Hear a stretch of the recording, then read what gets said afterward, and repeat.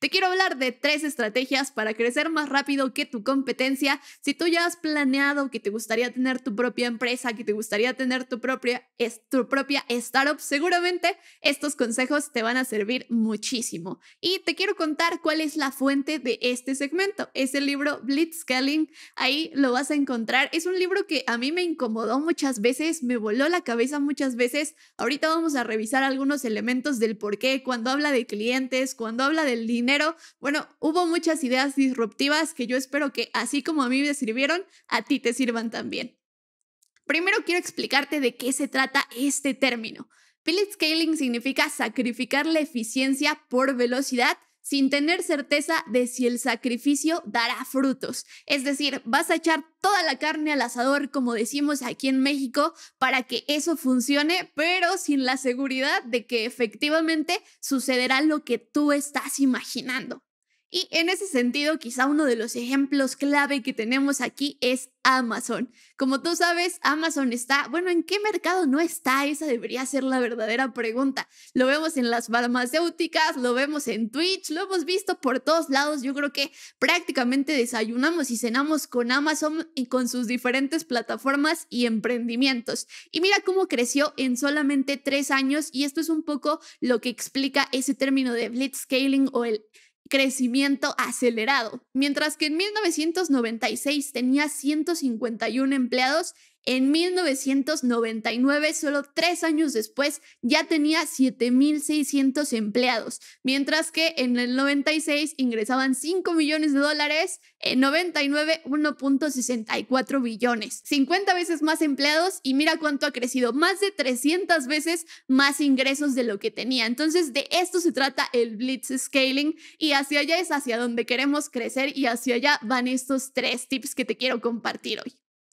Entonces, ¿cuáles son algunos de estos beneficios que nos va a traer, crecer de esta manera? Primero que vamos a jugar a la ofensiva mientras que también defendemos. Cuando somos disruptivos, cuando somos veloces, número uno, no le permitimos a la competencia reaccionar. Y número dos, por supuesto, estamos pateando ese balón hacia la cancha contraria para anotar el gol que nosotros estamos esperando. Por otro lado, otro de los beneficios es que genera bucles positivos. ¿Qué significa esto? Que si tú estás creciendo muy rápido vas a llamar la atención de los inversionistas, probablemente también llames la atención de mucho talento que va a encontrar en esa empresa o en esa startup que tú estás creando un lugar para crecer su carrera profesional. Así que pensar de esta manera te va a traer muchos beneficios periféricos. Y ahora sí, vámonos al meollo del asunto, que son estos tres consejos que vienen en el libro o estas tres estrategias. ¿Cuál la primera? Tienes que diseñar un negocio innovador, no solo un producto innovador.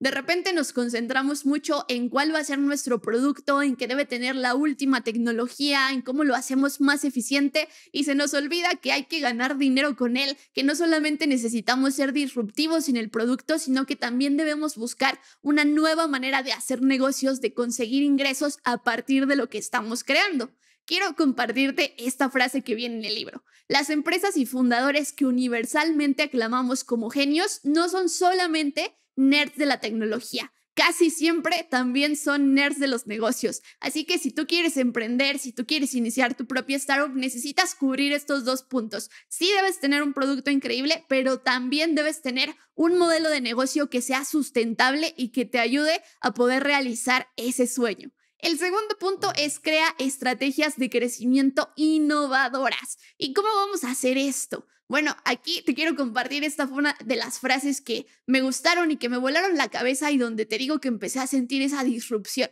Los capitalistas quieren que los emprendedores busquen un crecimiento exponencial, incluso si hacerlo cuesta más dinero y aumenta las posibilidades de que el negocio falle, lo que resultará en una mayor pérdida. Así que yo lo sé, esto puede ser difícil, nadie quiere perder normalmente, de hecho estamos mucho más impulsados esas decisiones que tomamos por el miedo a perder que por la ansia de ganar algo nuevo, pero aquí nos tiene que, que ganar esa segunda cosa que es cómo puedo lograr algo más en lugar de tener miedo de fallar o tener miedo de perder, porque eso es lo que nos va a ayudar a, a llegar al siguiente nivel. En este sentido, esta otra frase esta otra frase dije, no, ya no puedo seguir leyendo, me voy a tomar una pausa aquí. El gasto agresivo es una parte fundamental de blitzscaling. ¿Qué quiere decir eso? Que vas a tener que ponerle mucho presupuesto que esté destinado a eso, a tener incertidumbre, a no saber qué va a pasar con ese dinero.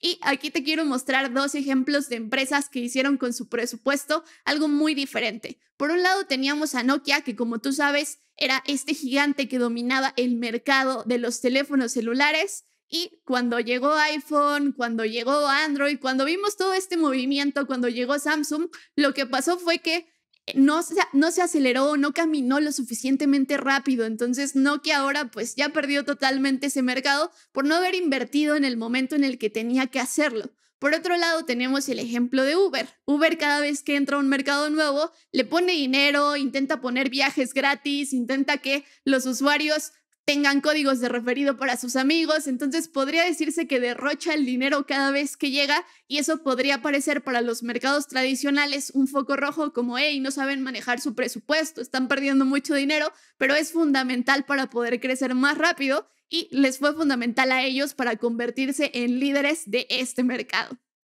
Y el punto 3, encuentra a las personas correctas. Como tú sabes, las empresas son equipos de trabajo, así que necesitas contar con las personas correctas para poder crecer ese negocio o ese emprendimiento. Algo que vas a tener muy positivo es que como ya habíamos visto, se crean estos, estos bucles cuando tú eres el líder del mercado, así que no vas a tener ningún problema en llamar la atención de talento nuevo. Sin embargo, tienes que retener a ese talento, recuerda darles un salario competitivo, eso es muy importante, pero también es importante ver que así como ganamos nuevas personas, hay que saber dejarlas ir en el momento adecuado. El escalamiento rápido de tu organización requerirá decisiones difíciles y sacrificios. Por ejemplo, las personas que son expertas en lanzar una empresa no necesariamente van a ser las personas adecuadas para escalarla. Entonces, aquí tenemos estos dos puntos donde hay que jalar, hay que saber cuándo contratar, pero también hay que saber cuándo dejar ir y cómo necesitas hacer crecer esa startup o ese emprendimiento que traes en la mente. Y sería irresponsable no hacer esta última mención. No pierdas de vista que los riesgos masivos que va a traer todo esto, porque si estamos tratando de escalar a esa velocidad, definitivamente también tenemos el riesgo de perder en esa misma dimensión. Existe un término científico para el crecimiento fuera de control en el cuerpo, haciendo la similitud que es el cáncer, que es cuando nuestras células empiezan a dividirse. Así, igualmente, cuando estamos pensando en un negocio y cuando estamos buscando crecer de manera acelerada, pues corremos también este riesgo de llevarlo a un exceso y de no parar en el momento en el que es necesario para reflexionar todos los cambios que hemos hecho y poder llegar al siguiente nivel.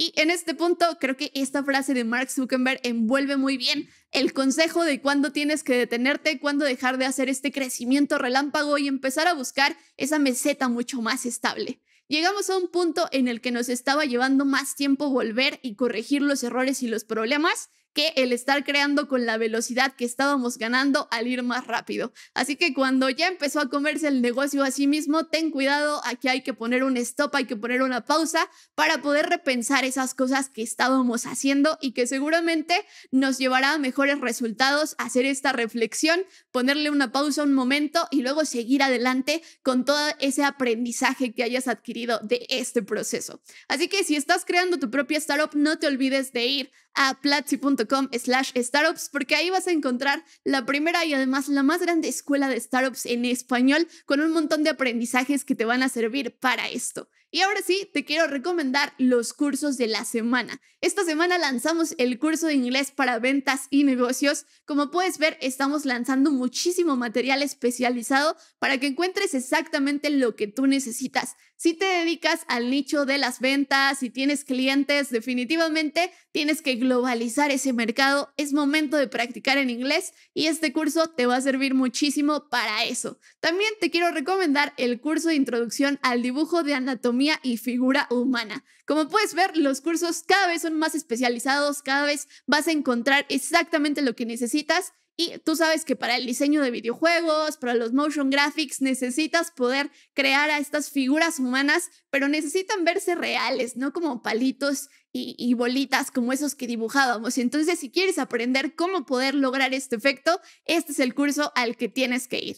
También te quiero recomendar el curso de análisis de negocios para ciencias de datos. Este es uno de mis cursos favoritos que se lanzó esta semana porque está lleno de conocimientos transversales. Por un lado, Machine Learning, pero también nos habla de cómo conocer mejor a nuestros clientes. De hecho, aquí estás viendo el proyecto de este curso donde vamos a hacer un análisis de sentimientos de todas las reseñas que nos están dejando para ver qué medidas estratégicas debería seguir nuestro negocio con base en esos datos. Así que te a divertir muchísimo en este curso y si tú estás llevando a ese negocio al siguiente nivel, este es uno de los cursos que te va a servir muchísimo, respaldado obviamente por la ciencia de datos. Y finalmente, el curso profesional de React Hooks. Este es un curso con uno de tus profesores favoritos aquí en Platzi, que es Oscar Barajas. No te lo puedes perder. Yo he visto a Oscar además hacer cosas con React, proyectos aquí en Platzi súper rápido, de una manera súper eficiente. Entonces, si quieres aprender más de Oscar y sobre todo si quieres mejorar el uso de las hooks ahí en React,